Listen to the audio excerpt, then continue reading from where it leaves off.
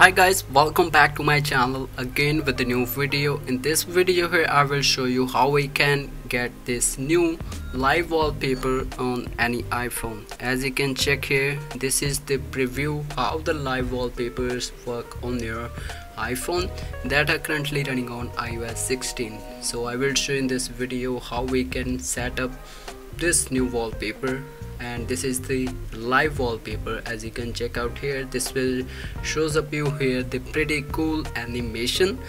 So let's get started how we can enable on any iphone so firstly let me show you the software version. As you can see the software version of my iphone 12 is 16.5 so in this method we just need to update the device on this latest update. So this is the 16.5 and this is the latest update for the iPhones.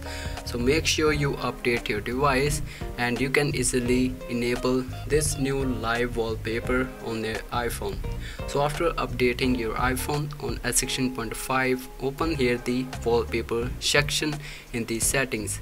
Now click on this add new wallpaper and scroll up and you will see there's an option of the pride and there in this pride section there are two new wallpapers and these two are live wallpapers for iOS 16 update. So now click on this wallpaper and you can easily enable the dark mode or the light mode.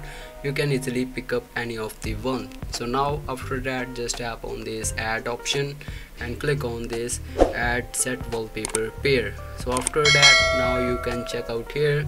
This will brings you here the new animation in this wallpaper. If and this is the new live wallpaper for your iphone. So this is the way you can easily set up this new live wallpaper on any of the iphone. So i will see you in the next video. So guys thanks for watching